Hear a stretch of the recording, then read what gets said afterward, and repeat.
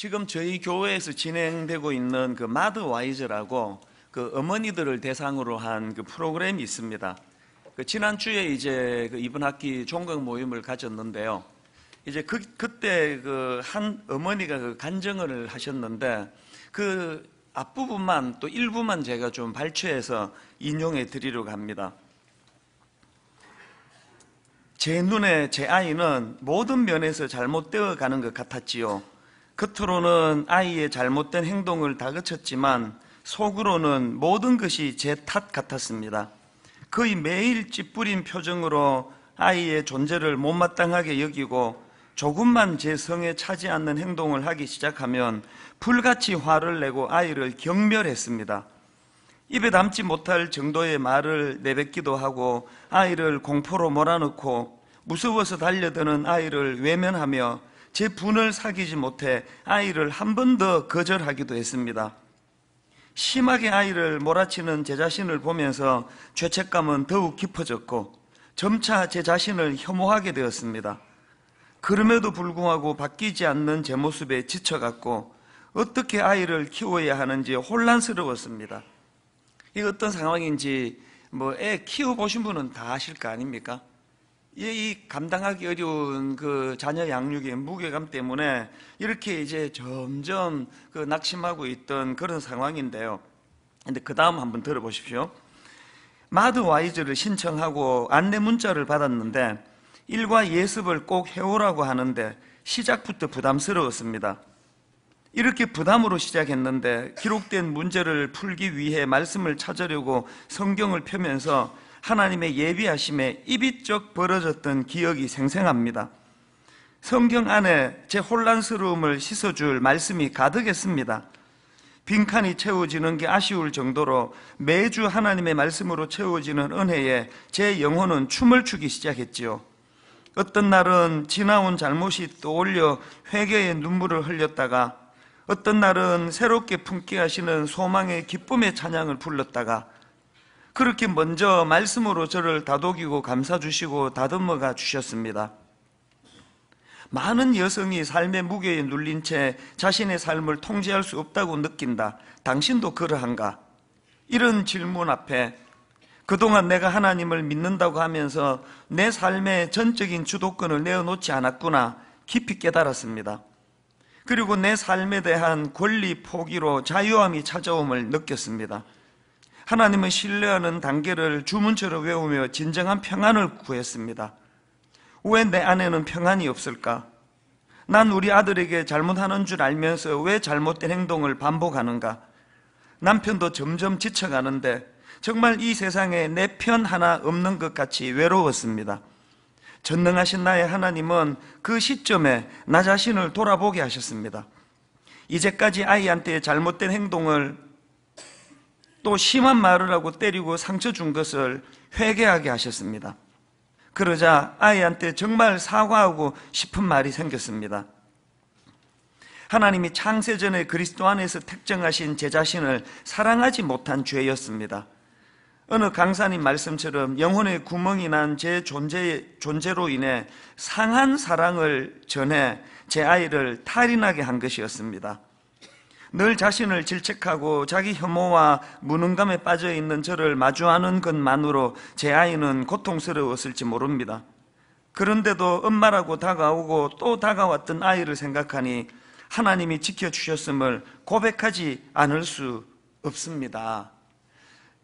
부모가 먼저 말씀 앞에 치유가 일어나고 또 부모가 먼저 회개와 자각이 일어나니까 이제 그 가정이 자녀 교육에 변화가 일어나는데요. 자, 그 다음 그 내용만 한 번 더 짧은 구절인데 한번 들어보십시오. 하나님은 나를 바꾸라고 먼저 말씀하지 않으셨습니다. 당신의 보호와 사랑을 받아들이라고 말씀하셨습니다.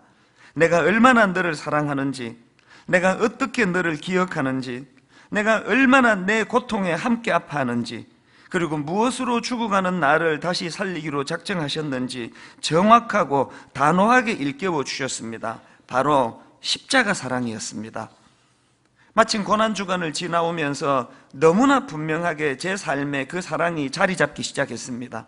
몰랐던 건 아닌데 하나님의 말씀이 제 삶에 침투해 들어오는 게 너무나 놀랍고 신기했습니다. 아마도 안다고 착각했던 것 같습니다. 저는 그 사랑이 얼마나 위대하고 아름다운지 몰랐었습니다. 저는 이 간증문을 읽으면서 사실 뭐 우리 부모들도 다 약한 존재 아닙니까? 약해서 상처를 받고 약해서 내가 받은 상처를 그 아이에게 그 전수시키는 이런 우를 범하는 게 이게 오늘 이 땅에서의 뭐 대부분의 가정의 모습인데요. 이분이 표현했던 것처럼 다 안다고 착각했지만 사실은 알지 못하는 그 위대한 십자가의 사랑, 이 십자가의 사랑으로 아까 그 어머니가 말이 뭡니까? 하나님은 내 허물을 다그치지 않고 네가 변해야 된다고 그렇게 몰아세우지 않으시고 먼저 십자가 사랑으로 그 어머니에게 사랑이 회복되도록 하시니까 그 받은 십자가 사랑이 악순환을 선순환으로 바꾸어 주더라는 그 얘기거든요. 저는 오늘 이 예배를 드리고 있는 우리 부모님들이 무엇보다도 먼저 아는 것 같지만 모르고 있는 그 십자가 사랑을 많이 깨닫고 누리게 되시기를 바랍니다. 하나님으로부터 이것들을 많이 누리게 되면 애쓰지 않아도 저절로 그런 얘기 여러분 아시잖아요. 용서를 맛본 사람만이 할 수 있는 게 용서고 사랑은 경험해 본 사람만이 할 수 있는 거라고. 그러니까 우리가 이 사랑을 많이 누리고 경험하게 되면 우리 자녀들을 향했던 울분이나 분노나 이런 악순환이 다 치료될 줄로 믿습니다. 이런 점에서 저는 오늘 본문의 주인공 그 디모데, 이 디모데의 외할머니 로이스와 어머니 유닉에 이그두 분이 참 귀하게 이렇게 다가오는데요. 오늘 이 두 분의 이 모습을 보면서 그런 외할머니와 그런 믿음의 어머니를 만났던 디모데가 누렸던 많은 그 혜택들. 그래서 제가 오늘 이 부분을 좀 살펴보면서 이제 우리 자녀들도 디모데가 누렸던 그 많은 만남의 축복들 이것들을 좀 어, 누렸으면 하는 마음을 나누기를 원하는데요. 오늘 본문의 주인공 디모데가 누렸던 그 만남의 축복으로 인한 그 두 가지 복을 좀 우리 자녀들을 향한 축복으로 그 삼기를 원하면서 좀 나누어 보기를 원하는데요. 자, 디모데가 경험했던 두 가지 복 중에서 첫 번째가 뭐냐? 영적인 멘토를 만나는 복을 디모데는 누렸다는 사실입니다. 오늘 본문의 주인공 디모데가 누렸던 복 중에서 가장 큰 복은 그 바울이라고 하는 위대한 인물을 만날 수 있었고 그 위대한 인물을 스승으로 모실 수 있었다는 사실입니다. 사도행전 16장 1절에 보니까 바울이 드베와 루스드라에도 이름에 거기 디모데라 하는 제자가 있으니 그 어머니는 믿는 유대 여자요 아버지는 헬라인이라 바울이 어, 디모데는 내 제자다 그렇게 이렇게 공적으로 이것을 인정하는 것을 볼 수 있는데요 그냥 뭐 제자 정도가 아니고요 사랑을 정말 많이 받았던 제자입니다 오늘 본문 1절과 2절로도 보니까 말씀을 읽기 시작합니다. 하나님의 뜻으로 말미암아 그리스도 예수 안에 있는 생명의 약속대로 그리스도 예수의 사도된 바울은 사랑하는 누구에게 편지 쓴다고요? 아들 디모데에게. 그 디모데를 지금 아들이라고 이렇게 표현하는 이 바울의 그 편지 속에 그 바울을 향한 그 애틋함이 그 묻어 있는 거 아닙니까? 고린도전서 4장 17절에도 똑같은 내용이 나옵니다. 이로 말미암아 내가 주 안에서 내 사랑하고 신실한 아들 디모데를 너희에게 보내었노니 여기 보니까 그 아들이라고 부를 만큼의 친밀감으로 끝나는 게 아니라 그의 신실함을 인정하는 거예요. 누구에도 앞에서도 나는 이 제자 디모데를 나는 자신 있게 추천할 수 있다. 그런 인정을 받았던 인물이 디모데라는 사실입니다. 그 오늘 본문 3절과 4절에도 보면은 이런 그 디모데를 향한 바울의 애틋함이 그대로 녹아 있는 걸 볼 수 있는데요. 3절을 보십시오. 내가 밤낮 간구하는 가운데 쉬지 않고 너를 생각하여 청결한 양심으로 조상, 조상적부터 섬겨오는 하나님께 감사하고 또 그런가 하면 4절입니다.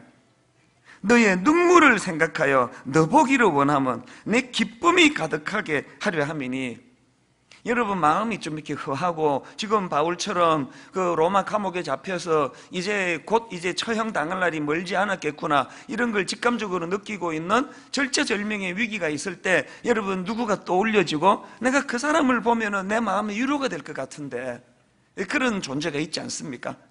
바울에게 디모데가 바로 그런 존재였다는 거예요.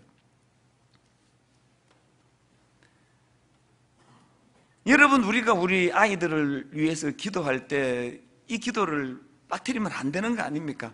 하나님 우리가 그래도 어릴 때부터 이 아이를 신앙으로 기르고 있는 예수 믿는 가정인데 우리도 이 자녀들을 제대로 잘 양육해야 되겠지만 하나님 우리 아들이 우리 딸이 일평생 동안에 저들이 만남의 축복을 누리기를 원합니다 바울과 같은 위대한 인물을 만나기를 원합니다 만날 뿐만 아니라 그 위대한 바울이 이토록 친밀감을 느끼고 인정해주는 그런 아들이, 그런 딸이 되게 인도하여 주시기 원합니다. 하루도 빼놓지 않고 하셔야 될 기도가 저는 바로 이 기도라고 생각합니다. 그리고 제가 오늘 본문에서 주목하는 게 뭔가 하면은요, 3절을 다시 한번 보십시오. 내가 밤낮 간구하는 가운데 쉬지 않고 너를 생각하여 청결한 양심으로 조상적부터 섬겨오는 하나님께 감사하고 여기 나오는 이 청결한 양심이라는 이 표현은요 바울이 어떤 자세로 사역을 임했는지를 보여주는 그 대표적인 단어입니다. 사도행전 24장 16절에도 보면은 이것으로 말미암아 나도 하나님과 사람에 대하여 항상 양심에 그리낌이 없기를 힘쓰나이다 이렇게 그 청결한 양심으로 목회하는 것이 바울에게 이게 얼마나 중요한 덕목인데요. 그런데 오늘 본문에 보면은 바울 자신이 먼저 이 청결한 양심으로 그렇게 살아오기를 또 주님의 종으로서 역할을 감당하기를 원했던 그 모습을 피력하고는 이 청결한 양심을 바로 그 다음 5절 말씀과 연결시키는 걸 볼 수 있습니다. 5절을 보십시오. 이는 내 속에 거짓이 없는 믿음이 있음을 생각함이라 이 말을 하고 싶어서 바울이 나는 청결한 양심으로 그렇게 살아왔다 그렇게 목회해왔다 이걸 지금 표현하는 거거든요 여기서 느껴지는 뉘앙스가 뭡니까? 디모데가 바울을 스승으로 삼고 그를 따랐을 뿐만 아니라 바울이 가지고 있었던 그 소중한 영적인 자산을 전수받고 있다는 걸 표현하고 있는 거 아닙니까? 제가 경험해 보니까요. 인생에서 이런 그 롤 모델이 되는 닮고 싶은 그리고 전수받고 싶은 그런 무엇을 갖고 계시는 그런 어른을 스승으로 모시고 산다는 건 이, 이 어마어마한 에너지를 가져다 주는 거예요. 제가 옥하는 목사님을 만나고 만 10년 동안 목사님 밑에서 그 목회를 지켜보면서 꿈에도 소원인 것이 그 옥하는 목사님의 그 청결한 양심으로 해오셨던 그 목회를 담고 싶은 거예요. 흉내라도 내고 싶은 거예요. 그래서 뭐 그때도 그랬고 지금도 그렇고 가끔 가다가 어 이찬수 목사님이 옥하는 목사님을 좀 닮았다 이런 이야기를 듣는 것이 내 평생의 가장 큰 영광이거든요. 어, 그런 말을 뭐 인사로 그 상대방이 그냥 예의를 갖추어서 하는 말이라 할지라도 아 저는 그런 말 듣기를 원하거든요. 그 옛날에 그 분당에듯이 교회를 개척하고 초기에 옥하는 목사님을 이제 만나 뵙고는 이제 두른두른 이제 대화하다가 이제 그런 이야기를 했거든요. 아, 목사님 가끔씩 저보고 옥 목사님 닮았다는 이야기를 성도들이 그 하는 소리가 있습니다. 그랬더니 목사님이 바로 이어서 숨도 안 쉬고 하신 말씀이 그 난 젊었을 때 잘 생겼었는데 그런 말씀에도 조금 더뭐 상처가 되지 않고요. 근데 속으로 뭐지 외모를 갖고 얘기하는 거 아닌데 목사님 좀 돌아가신 지 시간이 꽤 지나셨지만요. 여전히 저는 가끔씩 설교를 하다가 보면은 여기 뒤에 목사님이 서 계시는 것 같은 느낌을 받습니다. 성령님이 그렇게 인도하셨으리라고 저는 믿는데요. 헛한 소리가 새어나오지 않도록 성령님이 배려해 주시는 거라고 저는 믿거든요. 지금 이 땅에 계시지 않는 스승이지만 그분이 추상 같은 꾸지람을 하실 것 같은 그런 긴장을 가지고 목회할 수 있다는 것은 여러분 제가 담임 목사가 돼 보니까요. 뭐 어느 부교육자가 또 뭐 어느 장로님이 회개하시오. 당신 그렇게 목회하면 안 돼요. 그렇게 지적해 줄 수 있는 분들은 별로 없습니다. 그럴 때 저에게 돌아가신 제 스승님이 요 뒤에 서 계시는 것 같은 느낌을 가지고 설교할 수 있는 그것은 저에게 이거는 말로 다 할 수 없는 축복 중에 축복 아닙니까? 저는 우리 아들이, 우리 딸이 제가 누리는 이 복을 누리게 되기를 바랍니다. 사람이 경거망동하는 거는 겁나는 데가 없을 때 하는 거 아닙니까? 돌아가신 그 어른이 내 스승 되시기 때문에 추상 같은 꾸지람으로 저를 꾸짖을 것 같은 그런 긴장감을 가지고 그렇게 목회를 할 수 있다는 것, 이거는 제가 누렸던 그동안의 많은 복 중에서 가장 큰 복 중의 하나라고 저는 확신하고 있습니다. 제가 늘 강조하는 게 뭔지 아시죠? 세상에서 우리 목사님들 중에 가장 불쌍한 목, 목회자 또 목사님 전사님들은요 본게 없는 사람들이에요 세상에 본게 없는 사람만큼 불쌍한 사람이 없습니다 LA에 가보니까 정말 가슴 아픈 실력도 있고 똑똑한 그 젊은 목회자들이 이렇게 혼미한 상태에 빠져 있는 것을 보면서 왜, 왜 저럴까 이해를 못했는데 내가 발견한 건 그거 아닙니까? 저 똑똑한 젊은 목회자들이 본 게 없습니다 목회를 어떻게 하는 거고 성도를 어떻게 대하는 거고 하나님 앞에 어떤 자세를 가져야 되고 그건 책 읽고 또 배울 수 있는 거겠지만 스승을 만나고 앞서가는 그, 그 스승이 하는 것을 보면서 흉내 내면서 그렇게 습득하는 게 교육 아니겠습니까?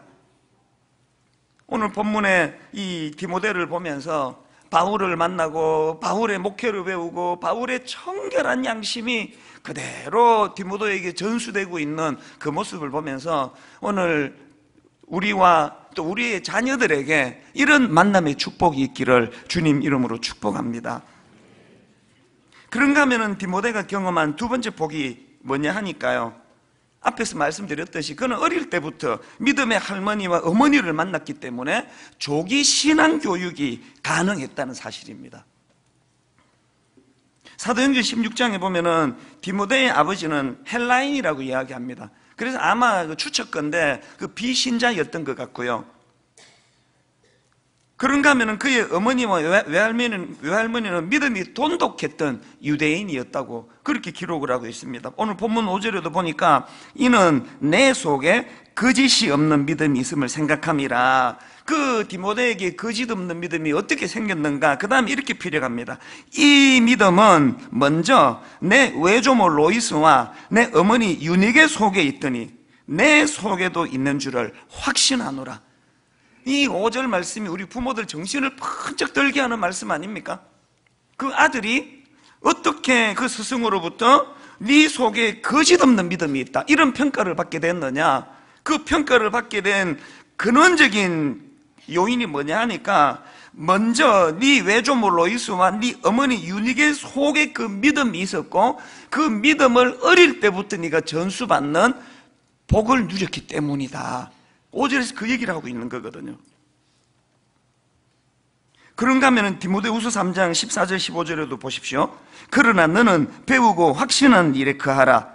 너는 내가 누구에게서 배운 것을 알며 또 어려서부터 성경을 알았나니 성경은 능히 너로 하여금 그리스도 예수 안에 있는 믿음으로 말미암아 구원에 이르는 지혜가 있게 하느니라. 존 스토트 목사님은 이 구절을 그 설명하면서 칼빈 주석을 인용하는데요. 그 내용을 한번 들어보십시오. 디모데가 그의 어머니의 젖과 더불어 경건을 빨아들일 수 있는 그러한 방법으로 어릴 적부터 양육받았다. 육신의 그 생명을 연장하기 위하여 그 어린 젖먹이가 어미 젖을 먹는 것과 동시에 그 무게와 똑같이 그 어머니에 가지고 있던 경건을 빨아들였기 때문에 이건 너무너무 부러운 거 아닙니까? 우리가 아이들에게 육신의 건강을 위하여 그 어머니의 그 모든 소중한 영양을 표현하는 그 전만 물리는 것이 아니라 그 우리 자녀들에게 부모의 경건을 물릴 수 있는 이게 왜 중요합니까?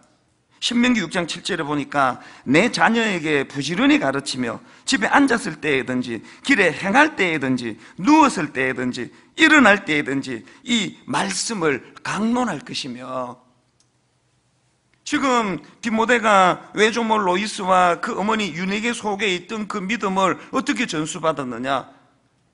어려서부터 성경을 알았다는 거예요. 그 외할머니가 그리고 그 어머니가 기회 있을 때마다 자기가 갖고 있던 이 성경의 말씀을 구약이겠죠. 그 성경 말씀을 계속 가르치고 인용했기 때문에 그 부모의 믿음이 디모데에게 전수가 될 수 있었다. 여러분이 잘 아시는 요수와 사장에 보면은 이제 이스라엘 백성들이 그 홍해를 건너고 그 긴 광야를 배회하고 난 다음에 드디어 이제 요단강을 건너서 꿈에도 그리던 그야말로 꿈에도 그리던 목적지 가나안에 이제 도달을 하는데요.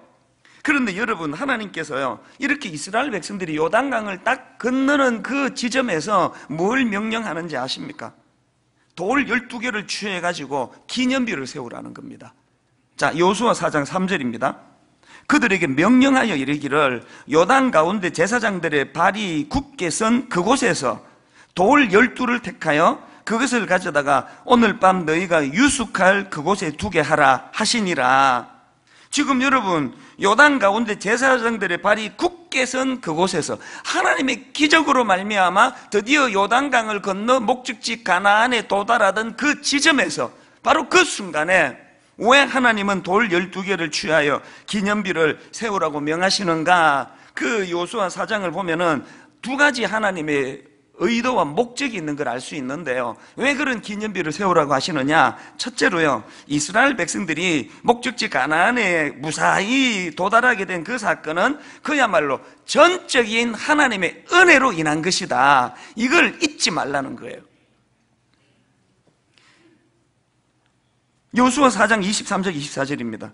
너희의 하나님 여호와께서 요단 물을 너희 앞에서 마르게 하사 너희를 건너게 하신 것이 너희의 하나님 여호와께서 우리 앞에 홍해를 말리시고 우리를 건너게 하신 것 같았나니 이는 땅의 모든 백성에게 여호와의 손이 강하신 것을 알게 하며 너희가 너희의 하나님 여호와를 항상 경외하게 하려 하심이라 하라. 여러분, 여러분 내면에는 하나님이 어떤 은혜로 내가 여기까지 올 수 있게 했던지 그 기념비가 있습니까? 그 기념비만 들어보면서 내가 똑똑하고 내가 잘나고 내 주먹이 그냥 강력해서 이렇게 된 거 아니다. 저는 제 마음 안에 이 기념비가 허물어지는 날 분당 우리 교회가 무너지는 날이라고 생각합니다. 담임 목사인 제 마음 안에서 분당 우리 교회의 이 16년 여기 오 는 과정 과정은 그야말로 전적인 하나님 은혜다. 하나님의 은혜 아니고는 이런 일이 불가능하다. 이 제 마음의 기념비가 허물어지지 않도록 여러분 기도해 주셔야 돼요. 그런가 하면은 우리 마음에 이 은혜를 잊지 말라는 기념비를 왜 세워야 되느냐? 두 번째는요, 이스라엘 백성들로 하여금 기념비를 세우라시는 하나님의 마음의 의도 속에는 네 믿음뿐만 아니라 다음 세대 자녀도 교육하라는 거예요. 여수와 4장 6절 7절입니다. 이것이 너희 중에 표징이 되리라. 후일에 너희의 자손들이 물어 이르되 이 돌들은 무슨 뜻이냐 하거든. 그들에게 이르기를 요단 물이 여호와의 언약궤 앞에서 끊어졌나니 곧 언약궤가 요단을 건널 때에 요단 물이 끊어졌으므로 이 돌들이 이스라엘 자손에게 영원히 기념이 되리라 하라 하리라. 하나님은요, 우리 부모 세대가 경험한 은혜가 우리 부모 세대로 단절되지 않고 이것이 자녀 세대로 흘러가기를 원하십니다. 오늘 지금 대한민국 교회 교회들에게 가장 위기가 바로 이거 아닙니까? 이렇게 믿음 좋은 부모들이 많이 모여 있는 대한민국이지만 그 믿음이 자녀들에게 전수가 잘 되지 않는 그래서 사사기에 나오는 유명한 말씀 다음 세대가 아니라 다른 세대가 돼버린 이 현실 딱 이게 오늘 우리의 현실 아닙니까? 저는 이런 차원에서 여러분에게 묻습니다. 여러분의 가정은 위기 때 함께 하신 그 하나님을 기념하는 기념비가 놓여져 있습니까? 여러분의 가정이 이 정도 그래도 살 수 있을 만큼 그 위기 위기 속에서 하나님이 어떻게 인도해 주셨는지에 대한 기념비 그래서 자녀들이 그 기념비를 보면서 그 은혜를 전수받을 수 있는 도구가 있습니까? 사무엘상 7장 12절로도 보면은 사무엘이 돌을 취하여 미스바와 센 사이에 세워 이르되 여호와께서 여기까지 우리를 도우셨다 하고 그 이름을 에벤네셀이라 하니라 여러분이 에벤네셀의 기념비가 여러분 가정에 지금 허물어져 있는 건 아닙니까? 에벤네셀의 기념비가 세워져 있는 가정은요 어지간한 어려움이 와도 애들도 당황하지 않아요 왜? 이런 위기와 어려움 속에 하나님이 여기까지 우리를 도우셨다 하고 이 확신이 자녀들에게 전수가 되기 때문이거든요 그 저는 우리의 신앙이 자녀들에게 잘 전수되기 원하는데요. 정말 우리 부모들이 이 믿음이 자녀들에게 전수되기를 원한다면 우리 부모들이 정말 해야 될 게 하나 있는데요. 그게 뭐냐? 주님을 향한 전적인 위탁이에요. 자녀 교육에 있어서 그 디모데가 누렸던 그 외할머니와 어머니의 그 믿음 전수의 복을 자녀도 누리기를 원하신다면 이제 여러분이 그 세상적인 관점과 기준으로 양육에 힘쓰던 이걸 다 내려놓으셔야 돼요. 그리고 하나님께 위탁하셔야 됩니다. 전적인 위탁. 그래서 여러분 지난주 살펴보았던 에스겔 37장 3절 말씀 기억하십니까? 그가 내게 이르시되 인자야 이 뼈들이 능히 살 수 있겠느냐 하시기로 내가 대답하되 주 여호와여 주께서 아시나이다 우린 몰라요. 이 아들이 지금 어떻게 되는 건지, 이 딸은 지금 뭐 이게 이 세상에 지금 뭐 어떻게 돌아가고 있는 건지, 뭐온 대학가는 지금 뭐 거대한 동거촌이다 뭐다 이런 이런 믿겨지지 않는 말들은 자꾸 들려지는데 이 뭐 우리 자녀들이 어떻게 돌아가고 있는지 우리는 잘 모르겠다는 거예요. 그러나 우리가 하나님께 드릴 수 있는 가장 아름다운 대답은 이 뼈들이 능히 살겠느냐 할 때 아버지 정말 우리가 자녀 교육 제대로 못 시켜가지고 뭐 그냥 뭐 원칙도 없고 기준도 없고 그냥 애들 교육을 그냥 아까 그 어머니가 그 편지 속에서 간증문 속에서 고백했던 것처럼 막 울분과 분노를 가지고 자녀들에게 상처를 많이 심어주는 그런 교육 돌이킬 수도 없고 이거는 물을 수도 없는 현실이지만 그래서 아버지 우리 아들 우리 우리 딸이 지금 꼭 에스겔의 마른 뼈 같은 상황이랄지라도 그러나 주님 그렇게 물으시니까 관심을 가지고 계시니까 주님이 한번 힘쓰시면 우리 아이들이 에스겔의 마른 뼈가 군대가 되는 능력을 경험했듯이 우리 아이도 살아날 줄로 믿습니다. 이 고백이 주께서 하시나이다. 주께서 하시나이다. 그래서 제가 지난주 설명해 드렸던 그 베드로의 대답 사실은요 베드로가 그 부활하기 이전에 그 자기가 다 할 수 있을 것처럼 그렇게 근거 없는 대답을 막 퍼부었지만 부활하신 주님을 만나고 첫 대답서부터 태도가 달라졌잖아요. 완전히 달라졌잖아요. 예수님의 첫 질문부터 베드로의 달라진 대답을 볼 수 있는데요. 자, 요한복음 21장 15절을 한 번 더 보십시오. 그들이 조밥 먹은 후에 예수께서 시몬 베드로에게 이르시되 요한의 아들 시몬아 네가 이 사람들보다 나를 더 사랑하느냐 하시니 이르되 주님 그러하나이다. 내가 주님 사랑하는 줄 주님께서 아시나이다. 벌써 여기서 대답이 달라졌거든요. 근데 주님은 지금 제차 3차 질문을 통해서 뭘 확고히 하기를 원하신다고요? 17절을 다시 보십시오. 세 번째 이르시되 요한의 아들 시모나 네가 나를 사랑하느냐 하시니 주께서 세 번째 네가 나를 사랑하시느냐 함 사랑하느냐 하심으로 베드로가 근심하여 이르되 주님 모든 것을 아시오매 내가 주님을 사랑하는 줄을 주님께서 아시나이다. 우리에게 이 근심이 필요해 근심이. 아까 그 어머니가 그랬잖아요. 십자가 사랑은 나 다 아는 줄 알았는데 정답 내가 되뇌이면서 이렇게 신앙생활 했는데 자녀 교육이 잘 안 통하더라 그게. 내 울분과 혈기가 자녀들에게 계속 흘러가는 이 가슴 아픈 현실을 경험하면서 말씀으로 십자가 사랑을 내가 들여다보니까 내가 아는 것 같았는데 사실은 내가 잘 모르고 있었더라. 그래서 근심하는 거예요. 그래서 베드로가 근심하여 이러다 아, 분명히 내가 정답을 말씀드렸는데 십자가에서의 그런 어리석은 대답을 내가 하지 않는데 왜 주님은 자꾸 반복해서 물으시나? 근심하여 가로되 우리 신앙에 이 근심하여 돼. 저는 오늘 말씀의 결론을 이렇게 맺기를 원합니다. 저는 이 5절 말씀을 읽으면서요. 제가 경험했던 한 가지 말씀을 나누고 싶은데요. 5절을 다시 한번 보십시오. 이는 내 속에 거짓이 없는 믿음이 있음을 생각함이라. 이 믿음은 먼저 내 외조모 로이스와 내 어머니 유닉의 속에 있더니 내 속에도 있는 줄을 확신하노라. 지금 외조모 로이스와 어머니 유니게의 믿음이 아들 디모데에게 어떻게 전수되고 있는지 이게 그냥 불러 앉혀가지고 하루에 한 시까지 성경 공부 시켜가지고 되는 게 아니에요. 여러 번 말씀드렸지만 저는 저희 부모로부터 뭐 한 푼 물려받을 유산 없는 가난한 가정에서 자랐고 지금도 뭐 우리 어머니를 통해서 내가 받을 게 하나도 없습니다만 나는 전 세계에서 가장 놀라운 유산을 물려받았다고 생각하는 사람이에요.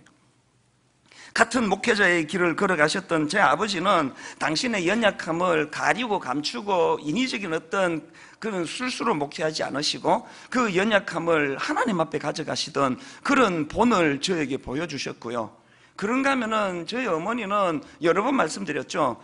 제 어린 시절에 어머니의 모습은 딱 두 모습밖에는 기억이 안 나요.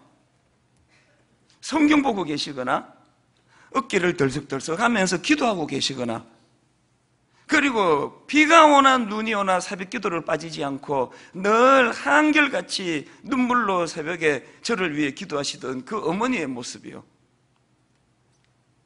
그래서 연세가 드시면 드실수록 막 로마서 전장을 줄줄줄줄만 다 외우시고요. 이 열한 번째 성경을 쓰셨답니다. 창세기부터 요한계시록까지. 그런 믿음의 본을 보여주셨는데요. 근데 여러분, 이게 다가 아니에요.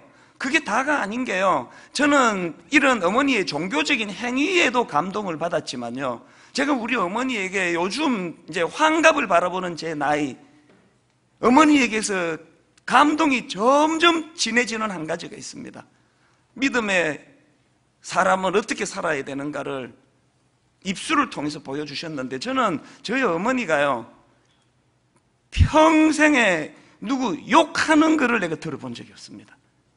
하다못해 그 TV 보면서 어, 쟤는 뭐 연기를 왜 저렇게 이런 얘기도 난 들어본 적이 없습니다. 교회에 무슨 권사는 왜 저 모양이야? 그 목사는 왜 설교 이렇게밖에 못해? 단 한 번도 들어본 적이 없어요. 두 번째로 제가 우리 어머니에게서 들어본 적이 없는 게 거짓말이에요. 저는 내가 기억하는 한 단 한 번도 거짓말 하는 걸 내가 본 적이 없습니다. 완벽하게 저를 속이셨거나 안 들키는 거. 진짜로 그런 삶을 사셨거나. 그 사춘기 시절에 그 중학교 1학년, 2학년 이럴 때 이제 딱 그때는 가정집에 전화기가 딱 그 마루에 한 대밖에 없던 시절 아닙니까? 그래서 이제 전화벨이 울리면 그 전화 받기 싫을 때가 있잖아요. 사춘기 때. 그러면 이제 내 친구라는 느낌이 들면 어머니가 전화를 받으시면 옆에서 이제 없다 그러세요. 없다 그러세요. 그렇게 막 이렇게 신용을 하면서 부탁을 하거든요. 없다 그러세요. 그러면 어머니는 가만히 계세요. 전화기를 들고. 그러더니 한 3초 지나가지고 힘이 하나도 없는 소리로 전화 받아라. 지금 이러고 있는데 전화기를 툭 건네면 그 얼마나 짜증나는지 아세요, 그거? 그 마지못해 전화를 받고 끊고 나면은 분노가 제대로 폭발하는 거죠. 왜 없다, 없다고 그러라고 그러는데 왜, 왜 바꿔주시느냐고, 왜. 아, 내가 지금 없다 그러라 그러지 않으셨냐고. 그럴 때마다 우리 어머니가 한결같이 하셨던 겸연쩍은 대답은 이거였습니다. 있는데 어떻게 없다고 그러니? 저는요, 그런 어머니가 너무 싫었습니다. 저렇게 융통성도 없고, 꽉 막히고, 맨날 그래갖고 손해보고, 아, 그 세상을 저래갖고 어떻게 사시려고 그러느냐고. 너무 답답했어요, 사실. 그런데 여러분, 세월이 가면 갈수록요, 눈물이 날 정도로 그 모습이 고마운 거예요. 저에게 온 몸으로 가르쳐, 가르쳐 주셨던 거. 그 제가 지난 한 주간 그 어머니를 생각하면서, 아, 진짜 저도 우리 새아이에게 단 한 번도 거짓말 한 적 없었던 것 같아요. 저녁, 저녁 예배 마치고 계시는데 물어봐야 되긴 하는데요. 내 기억으로는 없습니다. 디모데가 할머니와 어머니에게서 그 믿음을 전수받았던 것처럼 저도 저희 아버지 어머니에게서 목사로서의 이 믿음을 전수받았는데 그게 앉아봐라 성경 공부하자가 아니에요 삶을 통해서 신앙인이 어떤 삶을 살아야 되는가를 어떻게 보여주셨는가 만약에 우리 어머니가요 앉으면 성경 보고 앉으면 성경 쓰고 앉으면 성경 암송하고 앉으면 기도하고 그런 모습을 보여서 온 교회 성도들에게 그렇게 존경받고 그러시면서 자식만 아는 우리 엄마는 입에 거짓말을 달고 산다. 우리 엄마는 집에만 오면 사람 험담하기에 시간이 없는 사람이다. 그랬으면요 아마 제 교회를 떠났을지도 몰라요. 저런 역겨운 종교는 나는 믿고 싶지 않다. 그랬을지 모르겠습니다 5월은 가정의 달인데요. 오늘 이 말씀이 그리고 또 맨 서두에서 그 젊은 어머니의 그 간정이 오늘 저와 여러분을 베드로가 그랬던 것처럼 근심하게 만들기를 바랍니다. 이거 이대로 괜찮은 건가? 아까 인용해 드렸던 그 젊은 어머니 간정 내용 한 번 더 읽어 드리고 말씀을 마치기 원하는데요. 하나님은 나를 바꾸라고 먼저 말씀하지 않으셨습니다. 당신의 보호와 사랑을 받아들이라고 말씀하셨습니다. 내가 얼마나 너를 사랑하는지, 내가 어떻게 너를 기억하는지, 내가 얼마나 너의 고통에 함께 아파하는지, 그리고 무엇으로 죽어가는 나를 다시 살리기로 작정하셨는지 정확하고 단호하게 일깨워 주셨습니다. 바로 십자가 사랑이었습니다. 나를 먼저 바꾸라고 다그치지 않으시는 그 하나님. 그 하나님이 보여주시는 십자가 사랑, 이 십자가 사랑으로 부모인 우리가 먼저 변화를 경험하고 회복이 일어나고 그 회복된 십자가 사랑을 우리 자녀들에게 전수시켜주는 그런 믿음의 부모가 되기를 주님 이름으로 축복합니다. 여러분, 우리 333번 찬양인데요. 십자가 그 사랑 멀리 떠나서 무너진 나의 삶 속에 잊혀진 주 은혜 돌 같은 내 마음 어루만지사 다시 일으켜 세우신 주를 사랑합니다. 우리 가사를 생각하시면서 함께 찬양하기 원합니다. 십자가 그 사랑 십자가 그 사랑 멀리 떠나서 멀리 떠 무너진 나의 삶 속에. 무너진 나의 삶 속에. 잊혀진 주 은혜.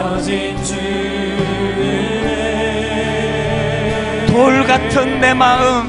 돌 같은 내 마음.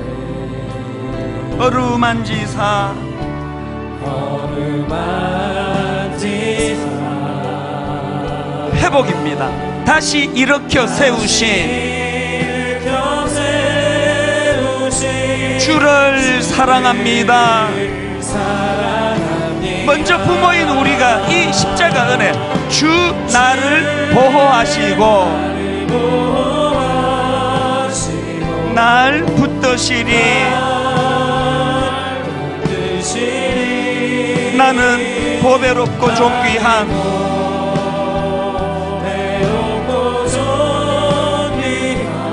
주님의 자녀라. 부모인 우리가 먼저 주님 나를 보호하시고 날 붙드시니 부모된 우리가 먼저 이 사랑의 확신. 나는 보배롭고 존귀한 주의 자녀라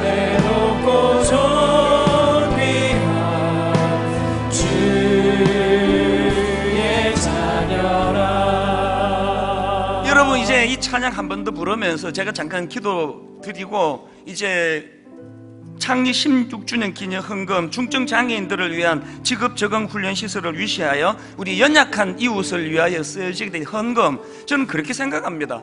매 우리 창립 기념일마다 우리 떡에 먹고 잔치하고 파티하지 않고 매 이 창립 기념일마다 헌금해서 그래서 생겨난 너무너무 많은 그 아름다운 것들이 다 우리 자녀들 앞에 기념비라고 생각합니다.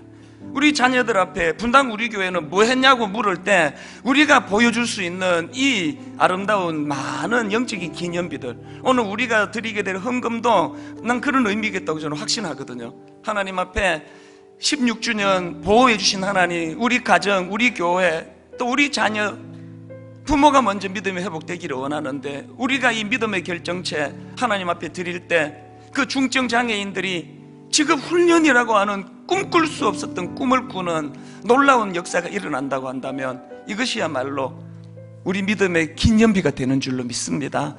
이런 마음을 가지고 이제 예물을 준비하신 헌금을 드릴 텐데 제가 잠깐 기도하고 함께 드리도록 하겠습니다.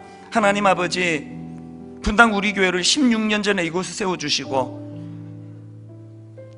철부지 같은 부족한 종을 단임 목사로 세워 주셨음에도 교회가 혼란 없이 여기까지 올 수 있었던 것은 에베네셀의 하나님 종에게만 맡겨두지 아니하시고 전적으로 삼위 하나님의 인하심의 열매인 줄로 믿고 우리 마음의 기념비를 세워드리기를 원합니다. 평생에 이 기념비가 허물어지지 않도록. 그래서 우리 부모들은 먼저 전적인 하나님의 은혜였습니다. 고백하게 하시고 자녀들에게는 이 기념비가 믿음이 전수되는 도구가 되게 하여 주시옵소서.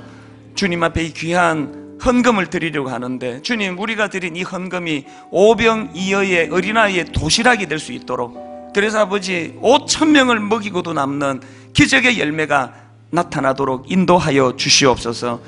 그렇게 인도해 주실 주님께 감사드리옵고 예수님 이름으로 기도드립니다. 아멘.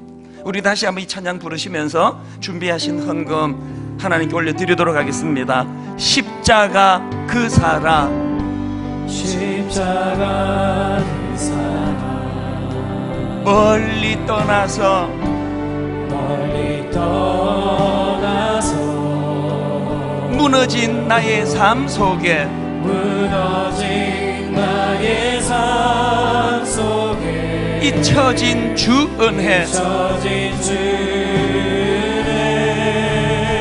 돌 같은 내 마음. 돌 같은 어루만지사. 어루만 회복을 노래합니다.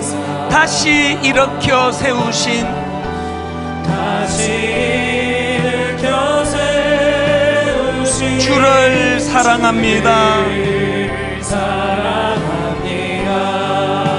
주 나를 보호하시고 나를 보호하시고 날 붙드시리 보배롭고 존귀한 주님의 자녀라.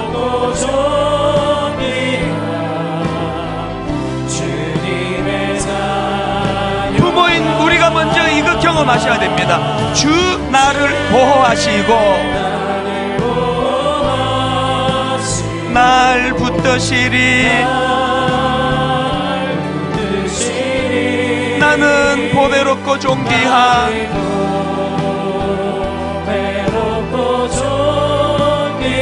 주의 자녀라. 주 너를 보호하시고 우리 자녀들을 향한 부모의 권면 널 붙드시니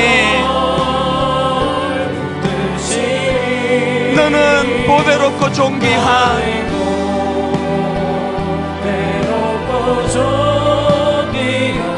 주님의 자녀라 우리 아들 우리 딸 하나님 앞에 올려드리며 이렇게 선포합니다. 주님 너를 보호하시고 널 붙드시니 뜻이 너는 보배롭고 존귀한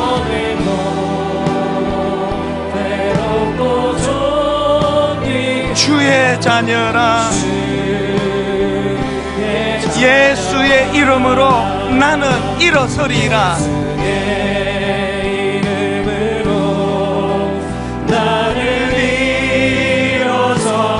주가 주신 능력으로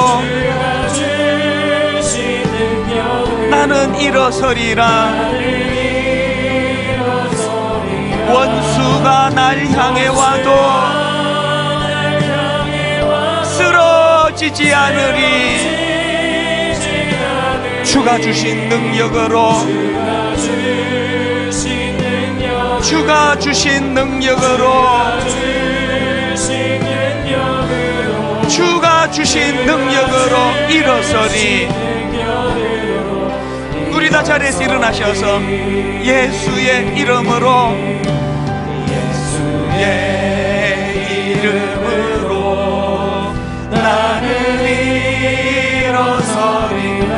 주가 주신 능력으로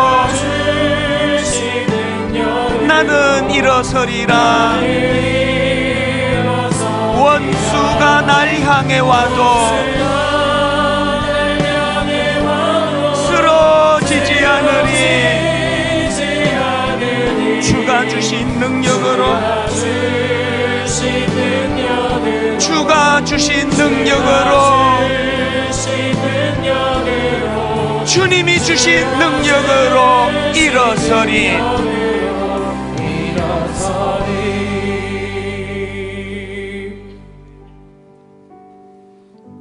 이는 내 속에 거짓이 없는 믿음이 있음을 생각함이라. 이 믿음은 먼저 내 외조모 로이스와 내 어머니 유니게 속에 있더니 내 속에도 있는 줄을 확신하노라.